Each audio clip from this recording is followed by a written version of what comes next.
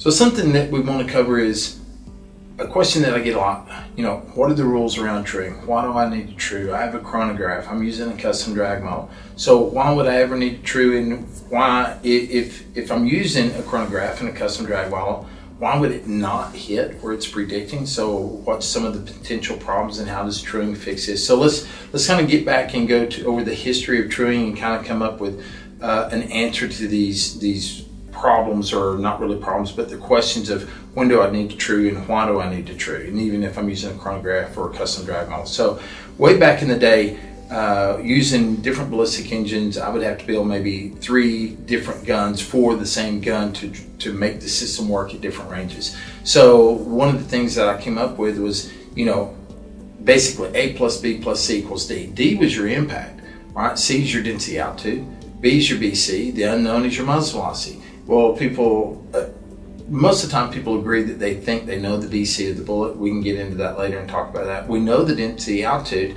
We know the impact. So if you have good resolution and you're doing it at the right range, and this is what we need to talk about, if you have good resolution at the right range of Mach 1.2 or within 10% of that, that gives us a definite good uh, measurement to actually be able to predict closer in. Density altitude's a known, BC's a known, all we need to know what the muzzle velocity is. And so guys go, well, what if I have a chronograph and I get a chronograph read? I know my muzzle velocity. Why is it not predicting correctly? Well, unfortunately, different chronographs, we've used different chronographs, uh, or actually the same chronograph and use two of them, and it gives us within 35 feet per second, but it's not good enough resolution to actually have a good prediction. And so it's not that chronographs are bad. There's a lot of good, you know, a lot of good calibrated chronographs out there. And then they go, well, I've got to, I got to get muzzle velocity, and I'm using a custom drag model now. And why would my prediction be off? Well, it could be that your barrel is destroying BC. So we've done a test, 13 military rifles, and 12 of them gave us the same .533 uh, BC in a G1, and one of them couldn't even make 0.5. Right, so why wouldn't we true the BC? Well, when you true the BC, now you're moving out of a custom drag model math that's made for that bullet. And you're moving into a world that you're now using a G1 or a G7. Well, that is fine in supersonic, it's going to predict it really well, but once you get into subsonic, that prediction's off. So you would have to skew it at that time. And we, we would. We would take a DSF and skew the prediction and, and make it match up where the bullet actually hit, connecting the dots with the G1 or G7.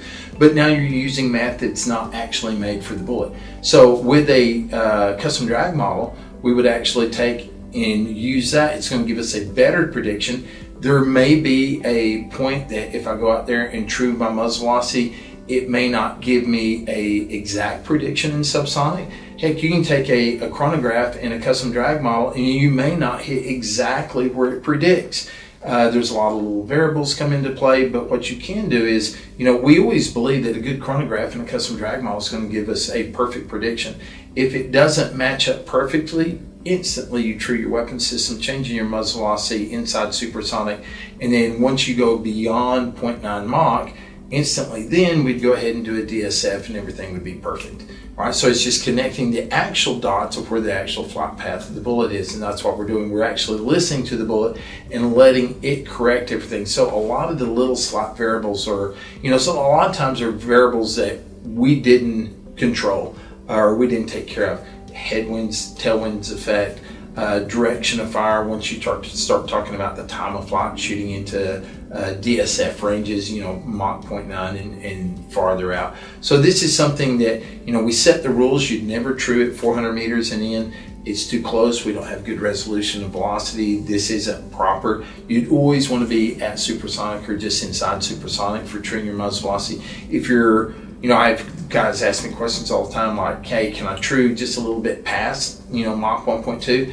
And the answer is really yes, you can if you know your bullet's going to maintain stability. If your bullet goes through transonic and because you're not spinning your bullet fast enough, it starts dropping off. Now, when it hits a little lower than prediction, your truing is going to say, well, you've got a slower muzzle velocity. In reality, it wasn't, but the, the bullet's losing stability and dropping off the prediction.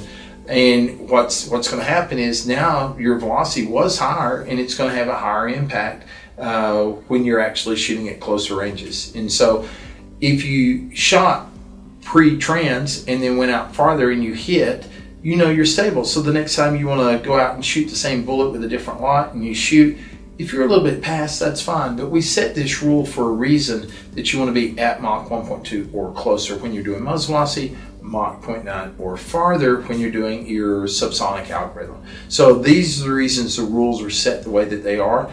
And me and Brian Litz agree 100%. If you're using a chronograph and a custom drag model, everything should marry up. And if for some reason something is slightly off, immediately true your velocity and it gives you the same resolution in prediction or same uh, hit probability as you go in and out uh, inside of supersonic and beyond. Uh, because truing basically will give you the exact same muzzle velocity as a good chronograph if you do it properly. So this is we're not saying one's really better than the other. They're both going to give you the same information if you do it right. So this is kind of the rules around truing and how to manage truing when things don't work out perfectly if you're using a chronograph. And we don't use a chronograph in class because there's rules of truing that we need to teach. Chronographs are easy. You set it up, use a custom, custom drag model with a good zero, we should be dead on. And if there is any adjustment to make it, you make it quick and move on uh, and the prediction should carry forward after that point. But uh, this is the reason that we teach truing and that we came up with truing. And we still currently, even with the custom drag, models and really good chronos that we have today, we still utilize truing because in the field, I may not have the opportunity to grab a chrono, but I can always true within a couple of bullets and have the same uh, capability as a qualified prediction of where my bullet's going as a good chrono would give me.